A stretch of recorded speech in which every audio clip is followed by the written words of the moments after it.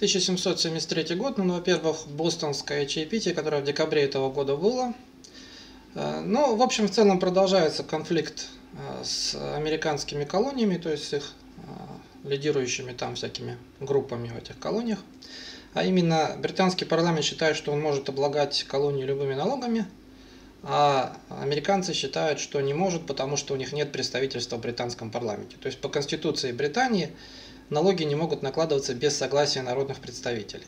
Вот у них нет в американских колоний представителей в Лондоне, в британском парламенте. Поэтому они считают, что они сами должны про все налоги решать, а Британия так не считает. Это, в общем-то, принципиальный вопрос, на который всякие мелкие вопросы накладываются, например, чай. Чай вывозили из Китая и в Европе не делали. Он был достаточно популярен, а, и поскольку Британия проводила политику протекционизма, они запрещали, естественно, ввоз всех других стран. А, в основном Остинская компания ввозила, и они также запретили Остинской компании напрямую ввозить в Америку первоначально, а они возили в Англию. В Англии был налог 25%, потому что как бы вот товар редкий, колониальный. В результате он был достаточно дорогой.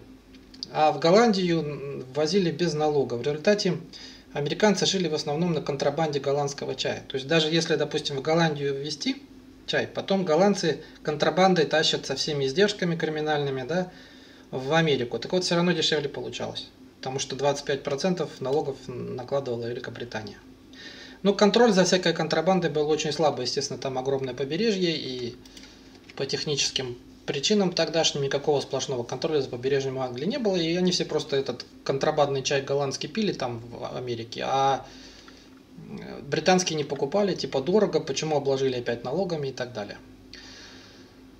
Ну, в общем, эту ситуацию как-то разруливала все равно Британия, потому что компании ей жаловались, что нет сбыта чая, вводили всякие новые пошлины. В целом они снижали. Таушенские пошлины в 1967 году э, ввели, потом в 70-м году они пошлины в целом для Америки отменили, оставили только пошлину на чай. То есть получилось, что в принципе самое главное вот это как раз чайная пошлина, почему против нее и протестовали, что остальные в основном для Америки отменили.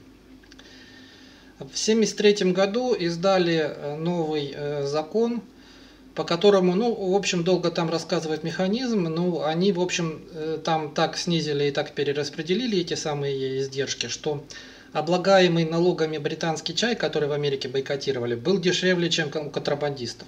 То есть они все-таки пытались этот чай сплавить в Америку, а там бойкотировали под этими самыми лозунгами э, свободы колонии, о том, что мы не будем значит, принимать никаких налогов от Британии. Вот. Ну, в общем, они вот так э, все-таки сделали, что он был дешевый и надеялись, что тогда вот там в Америке купят, что даже дешевле, чем контрабанда. А в Америке все равно продолжали, значит, не покупать ну, буквально там один цент была разница. То есть он э, до э, изменения пошлины был 3 шиллинга за фунт, чай британский.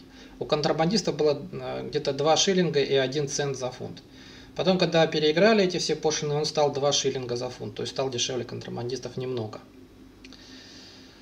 А, значит, э, вот в сентябре-октябре 1773 года корабли этой самой Остинской компании, они прибыли в колонии, четыре корабля в Бостон и по одному в Нью-Йорк, Филадельфию и Чарльстон.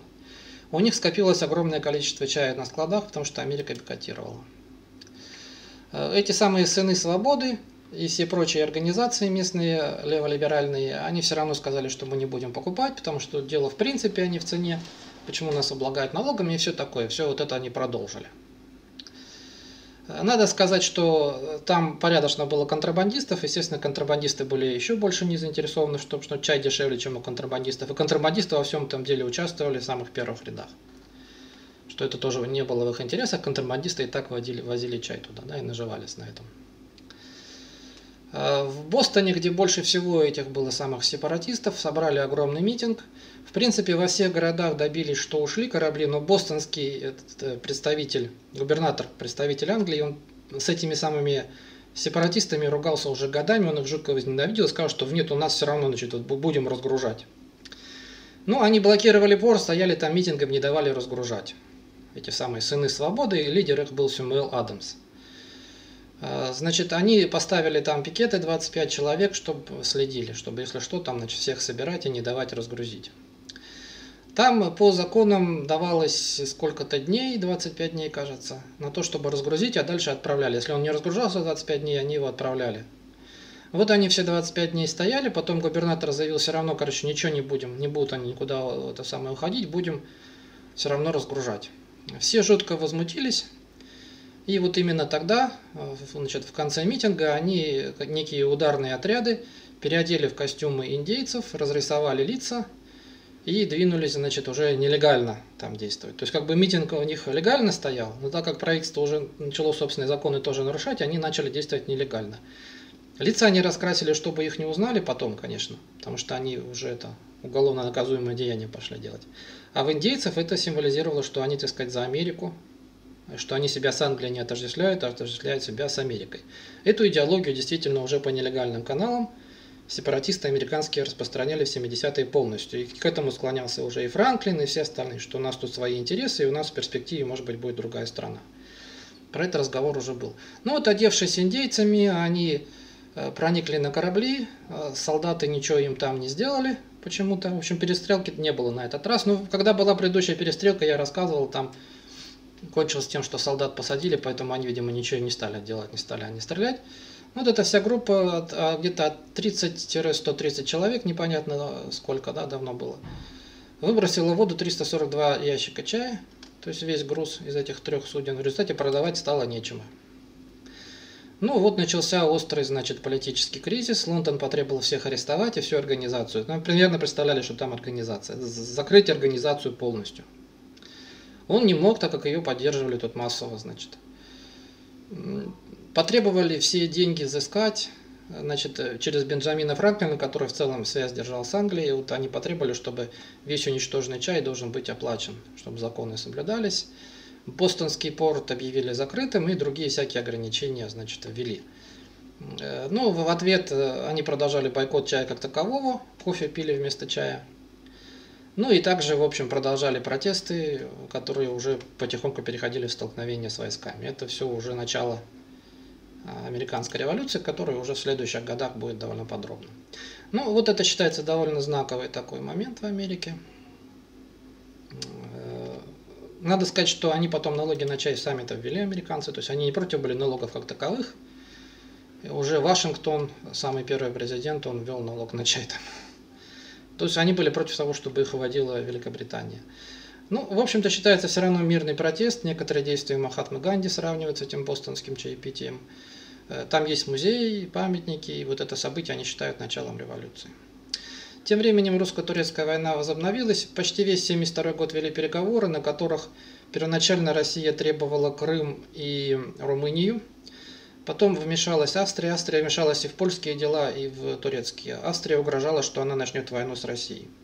Поэтому Австрии так много заплатили в плане вот Польши. Австрия ничего не, не воевала, ни, никакой Польши не участвовала, но Австрии отдали всю Галицию потому что она угрожала вступить в войну на стороне Польши и Турции.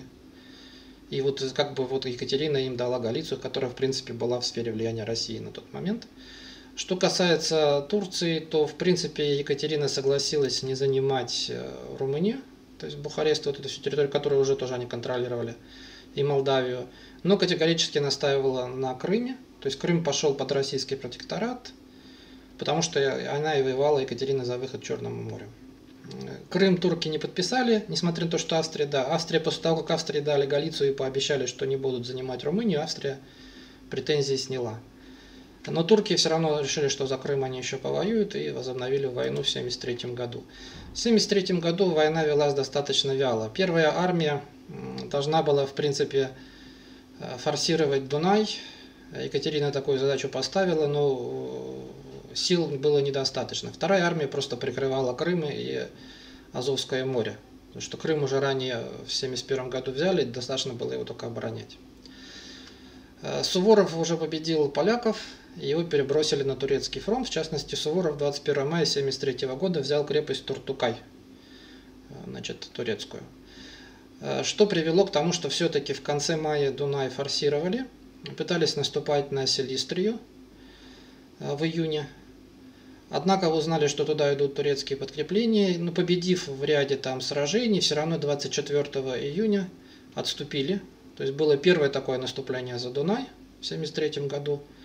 около месяца продолжалось. И, несмотря на победы, решили все-таки отойти и получше подготовиться. Турки пытались наступать тоже, в свою очередь, Дунай форсировать, но были отбиты. И, наконец, в октябре, уже собрав войска, ослабив опять турков, Румянцев начал второе наступление за Дунай, в процессе которого они атаковали город Варну, блокировали крепость Рущук, в общем-то, неплохо там пошумели, но опять же наступила зима, и они отошли на, на зимние квартиры. Таким образом, все военные действия 1973 года шли вокруг Дуная без особого продвижения. То есть не дали ни туркам наступать, совершили два крупных рейда за Дунай, но опять же опять отошли обратно. То есть на территории Болгарии военные действия шли, но без каких-либо, без занятия крепостей, в которых могли бы русские остаться. В Средиземном море действия русского флота по-прежнему были успешные. В Патрасском заливе уничтожили турецкую эскадру. Э, э, была осада Бейрута, потому что было восстание в Сирии, и русские решили там помочь взять еще Бейрут, который они взяли. То есть поддерживали сирийское восстание арабов против турков. Э, в 1973 году 3 июня турки попробовали высадить десант в Крыму и отбить Крым, однако у Балаклавы черный, вот первая победа русского флота на Черном море. Азовская флотилия разбила турок и предотвратила десант. Ну, в общем, таким образом, в 1973 году турки ничего не сделали. Крым не отбили, Дунай не форсировали, флот по-прежнему их били. На Средиземном море господствовала русская эскадра, делала, что хотела, там арабам помогала. Но в то же время вот эти вот э, планы Екатерины форсировать Дунай и взять Константинополь, он тоже провалился.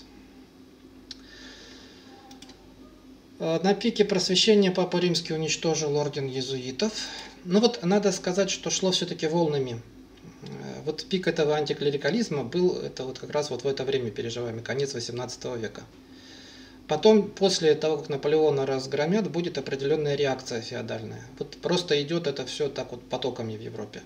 Потом иезуитов восстановят, будет Александр пытаться навязывать опять всю вот эту религию и так далее, я об этом поговорю.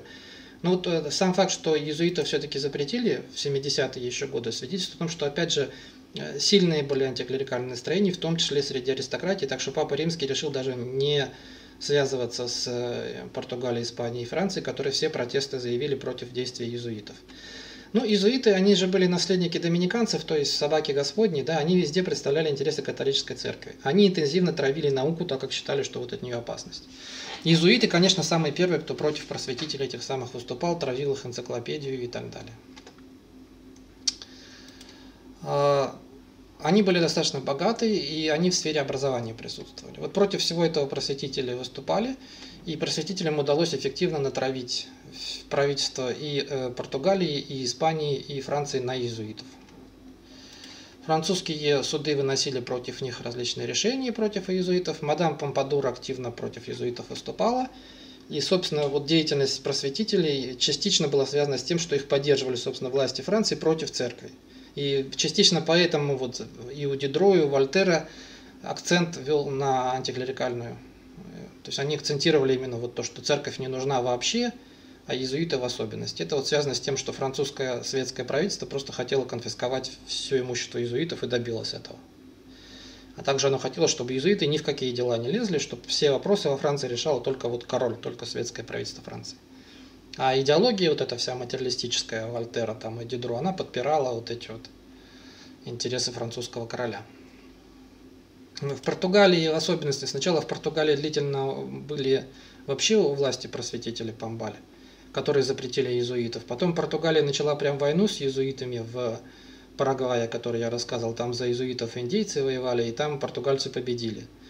Э, уже было, были запрещены иезуиты в Португалии, и Португалия особенно настаивала, чтобы их вообще во всем мире запретили. Ну так вот, 21 июля 1773 года Папа Римский официально упразднил ордены иезуитов. Все их имущество подлежало конфискации в пользу светских властей. То есть вот это вот Франция добилась, что конфискует все имущество иезуитов. Это окончательно подорвало все их попытки сопротивляться там просвещению материализма и атеизма во Франции, потому что в основном иезуиты и организовывали. В общем, это была крупная победа именно э, либералов, да, европейских. Э, в какой-то степени они сохранялись в Китае и в Индии, где они никому не мешали при всем при этом. Екатерина сохранила тоже иезуитов, между прочим, на территориях вот бывшей Польши и Литвы, которые она получила по разделу Речи Посполитой, потому что считала, что там больше некому просвещение организовывать. У нее кадров не было светских, поэтому она их, тем не менее, сохраняла, хотя их запретили. Ну и, в общем, 1814 год, когда пошла полностью клерикальная реакция в Европе, его восстановили. Ну, до реакции еще дойдем. Примерно до времен французской революции сейчас будет полное полевение, и в особенности э, вот против церкви будет все больше настроено и властей, и населения, и об этом я буду говорить. Но потом это какое-то время это откатится. Будет так вот волнами идти все эти революции до самой вот Первой мировой. Надо поговорить о более Вере Гольдсмите. Э, который в 1974 году умрет. Э, вот у него последние все произведения в это время. Это, значит, писатель, сын священника. Он пытался стать э, врачом, не получилось. Долгое время был таким мошенником, фрилансером и так далее. Короче, тяжело жил. Работал в целом помощником аптекаря, то есть у него было медицинское образование, но не законченное. И также он постоянно был в всяких долгах, занимался азартными играми и так далее. Э, и поэтому он занялся как раз писаниной, это у него получалось. Написал сатирические очерки «Гражданин мира» или письма китайского философа на такую распространенную тему в то время, что вот какой-то азиат значит, приехал в Лондон и критически пишет об европейском обществе. Я уже много описывал таких э, произведений, вот они почему-то очень популярны были в XVIII веке. Практически все их писали, вот Гольдсмит тоже в этой теме отметился и тоже прокатил. Стал популярным, он входил в группировку Сэмюэл Джонсон, Эдмунд Берг, Джошуа Рейнольдс, такая была группа литературная, о которых еще, значит, возможно, расскажу. Э, на пике всего этого, чтобы избавиться опять от долгов, он написал роман «Викфельдский священник», это наиболее его известный роман. Считается, что это начало сентиментализма. Он очень слезливый, потому что вот слезливое тоже прокатывало почему-то. А, о некоем таком вообще добром священнике, которого преследует местный помещик. Ну и вот все типично для сентиментализма и классицизма. То есть священник во всех обстоятельствах добрый, жутко страдает, то есть мы должны, так сказать, сочувствовать его страданиям. Помещик во всех обстоятельствах злой. И все это максимально возвышенными слезливыми словами описывается. Но вот, тем не менее, это повлияло, потому что вот даже были сериалы по этому поводу, повлияло, потому что потом пошла волна как раз сентиментализма, романтизма – рационалистическое все это э, значит, направление времен классицизма оно критиковалось, и вот сентименталисты, они в качестве важнейших таких вот их, их э, так сказать, предшественников, они называли именно Ричардсона с Помелой и Голдсмита вот с этим вот священником.